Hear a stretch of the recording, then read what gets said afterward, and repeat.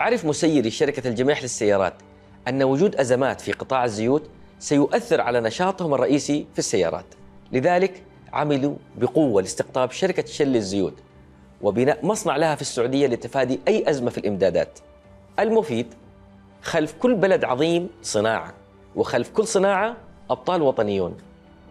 كان آه، موضوع آه، بعدها ما زلت أقول لك هو متطلع.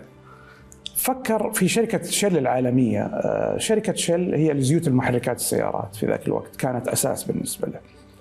كانت موجودة أيضا نفس الفكر موجودة من موزعين وتجي مختلفة وبعضها يجي مغشوش وبعضها ما يجي وتنقطع ويتعطل العمل إذا السيارة ما كان فيها.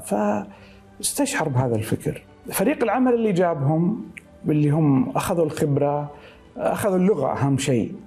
صار يوظفهم في هذه الأعمال. وكان في بعض المدراء اللي من دول عربية اللي اللي جو معاه في هذاك البدايات آه، اللي كان يكلفهم بالسفر. السفر البعيد ما كان هو الله يرحمه كان يسافر لكن ما يقدر يسافر لكثرة الأعمال والأشغال اللي كانت موجودة عنده فكان يكلفهم.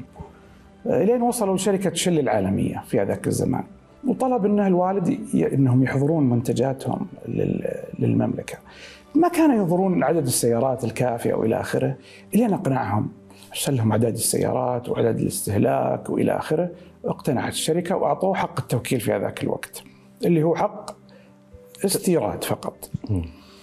إلين تطورت العلاقة تطورت العلاقة وبنى مصنع لزيوت آه، شل في المملكة العربية السعودية.